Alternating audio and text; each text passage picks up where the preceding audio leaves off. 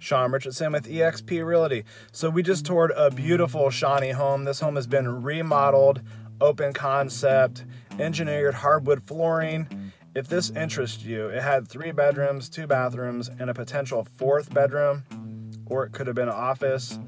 Beautiful. Like if you want something move-in ready, LED lighting, this is a must see. So get a hold of me, 419-302-9343.